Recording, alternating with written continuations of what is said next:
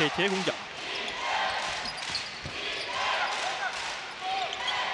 김영환. 네, 반대편의 움직임도 중요한데요. 앞에 슛이 안 네. 들어갔습니다.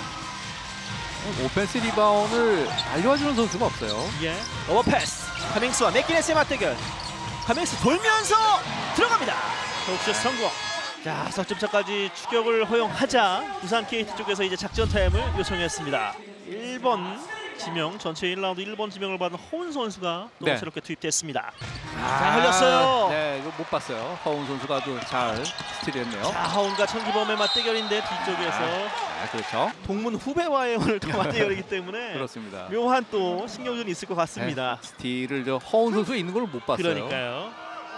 자, 하운. 자, 하운의 반칙. 어, 연세대학 재학 시에는 그 허훈 선수가 뛰는 시간이 좀 많았고요. 예, 러닝 타임이 좀 많았습니다. 그렇습니다. 허훈. 자, 들어갑니다. 허훈 돌파! 놓고. 야, 지금 그 순간적으로 몸이- 따돌리는 능력은 대단하네요. 그 예. KT는 지금 어, 저 two three 지역방어를 쓰고 있어요. 자, 걸렸어요. 걸렸고요.